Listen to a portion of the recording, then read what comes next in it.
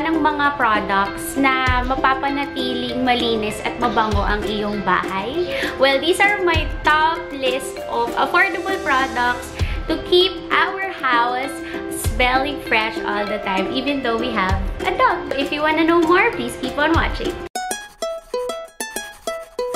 Mom! Another vlog. It's me, Mommy Name. Welcome, welcome, welcome, welcome back to my channel. Alright, if you're new here, please do not forget to like and subscribe. Okay, so today we will be discussing yung mga ginagamit kong materials or mga products to keep our house parang hindi mag-amoy pet or hindi mag-amoy aso yung bahay nyo. Pero ako personally kasi, araw-araw kasi talaga ako naglilinis and um, hindi ko talaga matiis na uh, mag-amoy aso, quote and quote, ang aming house. So, here are my affordable products for you to try. Okay, let's start muna doon sa talagang mostly na ginagamit sa mopping ng floor. Most of the time, talaga yung magiging source of amoy sa bahay. So, ano ba ang ginagamit ko? Okay, so first and foremost, I feel like lahat naman ginagamit ko. Put na lang the prices on the description box. So, there, number one, ang walang kamatayang Zonrox Bleach. Okay, ito kasi hindi lang siya nagpapabango, lalilinisan niya talaga yung area. Okay, hindi po to sponsor. Pero kung magsusponsor po si Zonrox sa akin, thank you po. Alright, so hindi ko lang ito ginagamit sa clothes, pati sa floor. So, ito talaga. Kasi nga, these days, pag summertime, maraming mga viruses na talagang kumakalat. So, you have to make sure na yung mga hinihigaan ng mga pets natin are very clean. So, there. Source of amoy talaga is dirt or merong dumi to it. So, ako talaga, ang base na una kong ginagawa is, aside from sweeping the floor first, is to keep it clean. So, there. So, yun ang ano, unang layer of um, product that I use. So, next naman is this. Ito, ito, cleaner din siya. And at the same time, sobrang bango niya. Kuman ko to sa aking mom. Ito siyang mas malaki na product na feeling ko naman medyo sulit na for its price. Pero this one is um, 828 ml.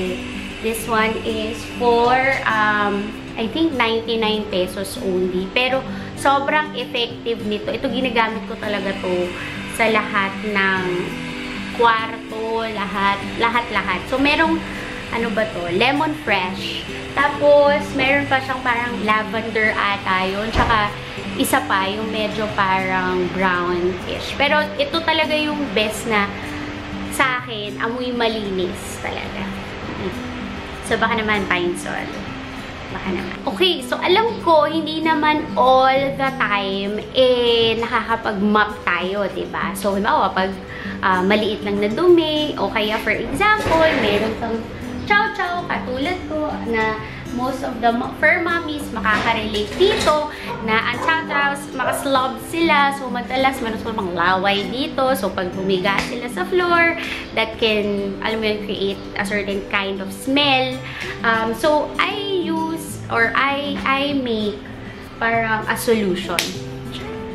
Solution pang nalalaman. Pero ganun lang din yun. Nagawa ko is most likely 40% of pine sol and then a little bit of Zonrox. Siguro parang isang, isang cup lang. And then water.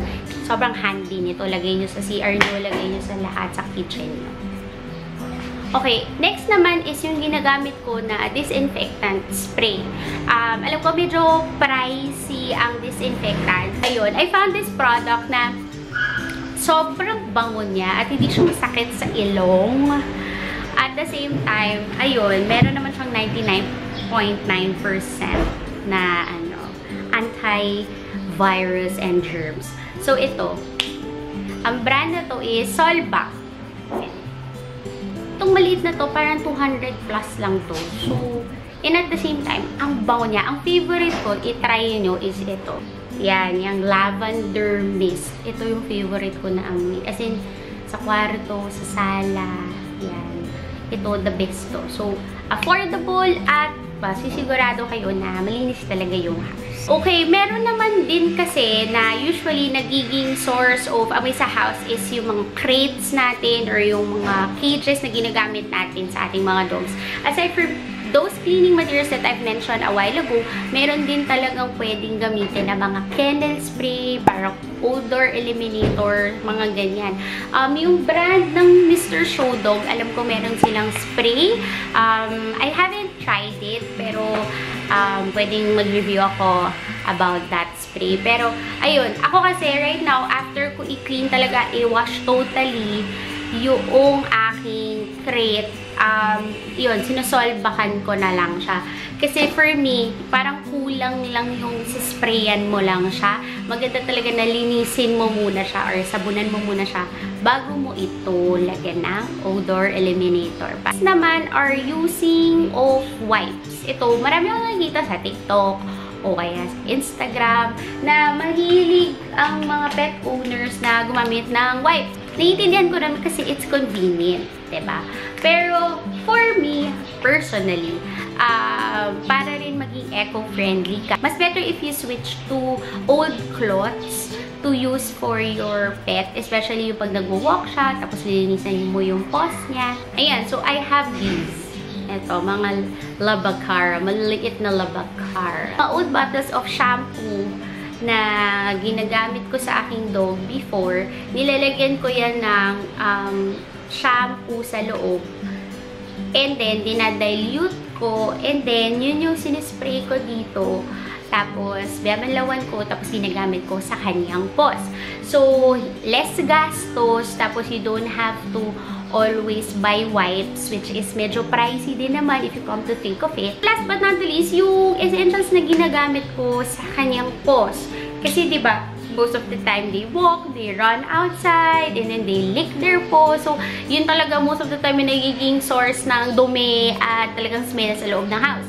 So, uh, usually, um, na-share ko na to sa aking previous vlog siguro parang mga naka 10 times na mention na to sa vlog ko is this, itong St. Roche na um, shampoo and um, conditioner. Usually do as well is I trim the hair dun sa paw parts, um, madaling madumihan yung buhok nila, ba diba? Hair, yung in between the paws, just to keep it clean, tapos hindi siya madaling mag-amoy. So, there. Um, aside from the fact that I clean it, um, I also use this product, yung 100% organic na pet relief ointment. It looks like, it looks like this. Sobrang bang pa nito. I got this from Lazada and the brand is called Martina. So, local brand siya. Nung nagkaroon ng hotspot si Theo, talagang nakatulong to dun sa hair growth. Tsaka yung para uh, mag-heal agad yung kanyang wound. So, yun. Sobrang helpful nito. Okay, so there you have it, guys. Thank you again for watching. If you have other suggestions or other cleaning materials na sa tingin nyo talaga sobrang effective sa inyo, that will really help me because I love cleaning and at the same time, taking care of the papa. See you on my next vlog. Bye!